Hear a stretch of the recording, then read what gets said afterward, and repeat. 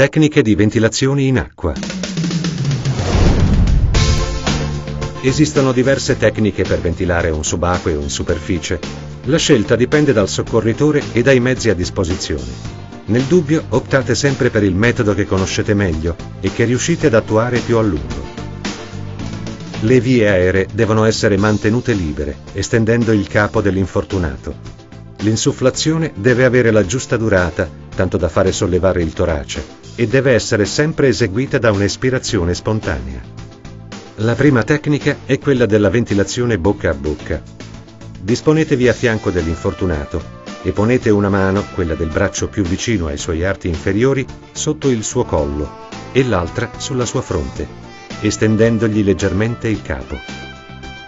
Se il subacqueo non indossa la maschera, chiudete le narici con il pollice e l'indice della mano sulla fronte e appoggiate le vostre labbra attorno alla bocca dell'infortunato, assicurando una buona aderenza. Soffiate fino a vedere il torace che si muove. Staccate la bocca dalla sua e prendete fiato, proteggendo le vie aeree della vittima. Eseguite una ventilazione ogni 4-5 secondi.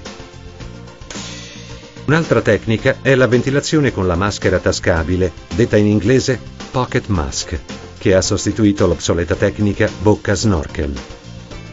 Utilizzare la maschera offre dei vantaggi. Il bordo di tenuta del facciale assicura una buona protezione dall'acqua.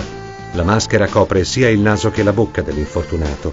La valvola unidirezionale evita che possiate venire a contatto diretto con la saliva o il vomito dell'infortunato.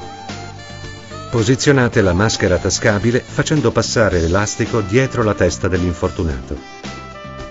Prendete fiato ed eseguite un'insufflazione per circa un secondo controllando che il torace si sollevi.